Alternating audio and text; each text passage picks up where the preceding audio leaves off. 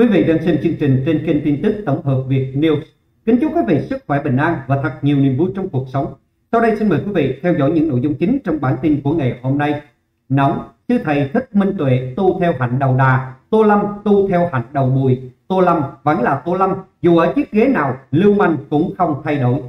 Kính thưa quý vị, trong thời gian ông Tô Lâm làm Bộ trưởng Bộ Công an,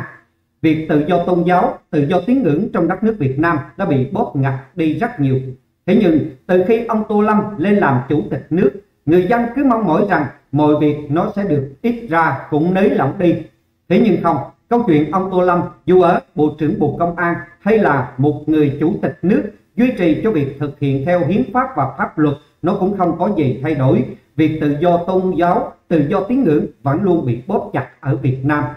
Trong thời gian gần đây, sự việc ông sư thầy Thích Minh Tuệ đi bộ khắc thực tại Việt Nam đã trở thành một đề tài lớn được dư luận trong và ngoài nước quan tâm, theo dõi và thảo luận sôi nổi trên các trang mạng xã hội. Đặc biệt, sau biến cố rạng sáng ngày 3 tháng 6, khi sư thầy Thích Minh Tuệ cùng với đoàn bộ hành khắc thực của ông bị lực lượng hàng trăm công an của Việt Nam đột kích bắt cóc ngay trong đêm lúc họ đang ngủ thì dư luận lại càng sôi sục và dậy sóng hơn. Hơn 800 cơ quan báo đài của đảng nhà nước Việt Nam đã im lặng trước hành động đàn áp tôn giáo của nhà cầm quyền đảng Cộng sản Việt Nam. Không những thế, ngay cả đài truyền hình quốc gia VTV lại tiếp tay tạo dựng các video clip giả để tiếp tục lừa dối người dân trong đất nước và bạn bè trên quốc tế nhằm để che giấu sự vô pháp vô cư của các lãnh đạo đảng Cộng sản Việt Nam, những kẻ đã ra lệnh đàn áp trong sự việc này. Truyền thông của hải ngoại và quốc tế cùng với những người dân trong nước và ngoài nước ngay lập tức đã đưa các thông tin xác thực và trần âm mưu và thủ đoạn đen tối của nhà cầm quyền đảng Cộng sản Việt Nam, buộc họ phải thả thầy Thích Minh Tuệ để ông này tiếp tục hành trình đi bộ khắc thực nhiều mà ông đã làm trong suốt thời gian vừa qua.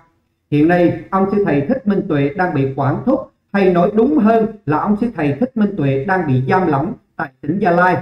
Thầy không được phép đi ra khỏi khu vực này, ngay cả khi đi khắc thực trong khu vực này cũng luôn luôn có công an và trinh sát theo bám và canh mặc phục đối với thầy Thích Minh Tuệ 24 trên 24.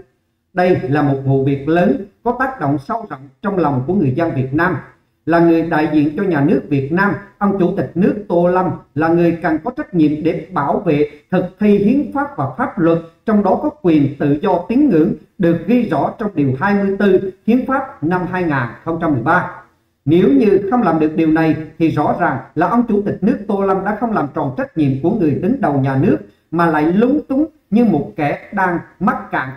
Hơn thế nữa trong mấy ngày gần đây, dư luận báo chí đều cho rằng khả năng cao là ông sư thầy Thích Minh Tuệ khó mà được tự do khắc thực trong những ngày tiếp theo. Ngày 9 tháng 6, một Facebooker nổi tiếng là Dương Quốc Chính đã bình luận tại sao ông Minh Tuệ phải ẩn tu theo vụ ông Sư Minh Tuệ lên VTV, mình cho là người ta muốn giấu biệt ở chỗ của ông ấy đang ở, nên phóng viên liên liên cũng không được biết đến. Thế nên họ mới phải ghép cảnh phỏng vấn cảm tưởng như là đang đối diện với nhau vậy. Thường nếu như phỏng vấn ở ngoài trời thì phóng viên sẽ đi lại để cho cảnh sinh động một chút nhưng ở đây, phóng viên đứng yên chém như là ở studio. Rồi người ta ghép cái background mờ mờ ở phía sau vào. Nhưng cái background này, nó thấy chỗ ngồi và chỗ em phóng viên liên liên, không khớp về ánh sáng, cũng như là bao cảnh xung quanh thầy Thích Minh Tuệ. Ngay cả cái cây phía sau của thầy, khả năng lớn cũng là ghép trong tương tự mà thôi. Quay đầu vẫn là thầy, vẫn còn nhiều vành, viền đen chưa cắt hết trong khi nền phía sau lại trắng, nên nó mới lộ cái viền đen đó từ cái background, tức là cái nền gốc, và nó có thể là trong phòng hoặc là tại chỗ có nền tối. Anh em bên an ninh quay phim lần sau nhớ phải rút kinh nghiệm. Khi quay, nên căng mảnh vải xanh ở phía sau để cắt ghép nền cho nó dễ và nó chuẩn hơn. Như khi quay video, em phóng viên liên liên, chắc có màn hình xanh ở phía sau, nên nhìn nó tự nhiên hơn. VTV cũng khác đi một chút theo mình dự đoán thì cho rằng đoạn quay thầy không phải là do VTV quay mà chắc chắn là mấy anh em an ninh đã quay rồi chuyển cho VTV cắt ghép với đoạn phỏng vấn sau nó giống nhau như thật. Cô Liên Liên này chắc không biết là thầy đang ở đâu, khả năng cao là như vậy. Nói đi thì cũng phải nói lại, chuyện này mình đã viết từ khi mới có xảy ra vụ việc, đó là bên an ninh họ đang rất dị ứng với đám đông, khiến cho họ mất kiểm soát đi lang thang ở ngoài đường lâu ngày khác gì là đi biểu tình đâu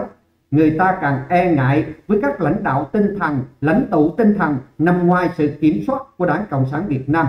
Tất nhiên hiện tại thì chưa có sao cả vì tên này cơ bản vẫn còn ngoan đi đúng lề nhưng đám đông hỗn loạn thì rất dễ bị nhóm khác lợi dụng để thực hiện các mục tiêu khác.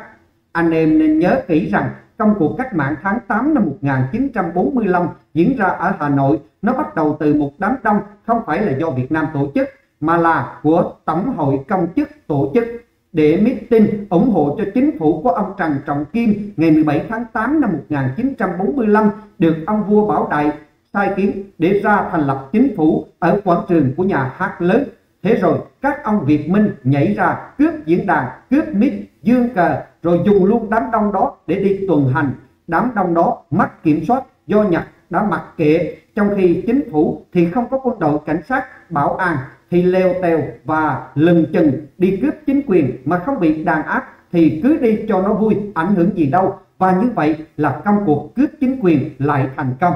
Thế là một công cuộc cách mạng thành công ở một cách tương đối ngẫu nhiên như vậy. Nên nhớ là Hà Nội đã hành động tự phát chứ Trung ương không có chỉ đạo gì cụ thể cho vụ việc này. Đấy là bài học đầu tiên của trường an ninh đó. Họ có chính quyền nhờ đám đông kiểu giống như vậy. Thì giờ họ sẵn sàng đặt quả trứng vịt lậu để tránh đi cho con vịt nó nở ra. Vì thế anh em đừng có thắc mắc về cái video kia nữa, mà cũng không nên tấn công em phóng viên liên liên làm cái gì. Người ta làm công ăn lương, sếp bảo sao thì làm vậy nếu như không làm thì phải nghỉ việc chủ trương lớn là từ lãnh đạo cấp cao rồi, tấn công đối với một con tốt phải tội ra, càng trái với quan điểm của ông Minh Tuệ. Về vụ việc này, bản chất là họ muốn dẹp đi đám đông, chứ không phải là muốn dẹp hành vi tu hành theo hạnh đầu đà hay là khất thực gì đâu. Nên bảo là họ đàn áp tôn giáo cũng đúng, đấy là họ chặn cái gốc cái rễ dẫn tới đám đông, mất kiểm soát mà thôi. Nếu như đám đông không còn hỗn loạn giống như dân Thái, dân Campuchia cúng dường đồ ăn cho sư khất thực thì ông ấy vẫn được tu theo mong muốn của mình. 6 năm trôi qua, ông ấy có bị sao đâu, e là với tính hiếu kỳ và sự cuồng tín đi theo truyền thông mạng xã hội của đám đông hiện nay thì thời điểm ông sư thầy Thích Minh Tuệ được ra đường cũng khá lâu và có lẽ mất vài năm là ít và thậm chí là sư thầy Thích Minh Tuệ sẽ không còn được đi bộ hành, đi tu khắc thực nữa vì chính quyền của Đảng Cộng sản Việt Nam, như chúng tôi đã đề cập đến, chính quyền của Đảng Cộng sản Việt Nam luôn dị ứng với đám đông. Tại dĩ họ sợ như vậy, bởi vì trong thời gian từ trước đến nay, chính quyền của Đảng Cộng sản Việt Nam được xem là một chính quyền dối trá, điệp bợm lừa dối người dân nhất nhì trên thế giới này. Bởi vậy, khi có tất cả sự thật, và đặc biệt khi có một hiệu ứng đám đông, họ cho rằng họ sẽ không kiểm soát được nỗi đám đông khi lòng dân đang phản quốc dân cao từng ngày về việc lật đổ chế độ cộng sản Việt Nam, bởi vậy nên dù một chiếc lá đông đưa thì với Tô Lâm, những con người như Tô Lâm vẫn xem đó là một mầm móng. Một mầm móng này khiến cho Tô Lâm sợ hãi xanh mặt dự đoán là ở một chỗ có sự kiểm soát của chính quyền, ông Sơn Minh Tuệ cũng sẽ không thể nào mà tu theo hạnh đầu đà gì được nữa bởi vì câu chuyện đến giờ phút này chính quyền mới là trên hết chứ không phải là việc tu hành của sư thầy Thích Minh Tuệ trong khi sư thầy Thích Minh Tuệ vẫn luôn luôn được người dân ủng hộ và theo dõi từng bước chân và liên quan đến những vấn đề này, những người làm chương trình của chúng tôi sẽ tiếp tục cập nhật đến quý vị trong những bản tin của những ngày tiếp theo. Quý vị đừng quên bấm đăng ký theo dõi kênh để không bỏ lỡ những thông tin mới nhất mà những người làm chương trình của chúng tôi sẽ tiếp tục cập nhật đến quý vị trong bản tin lần tới.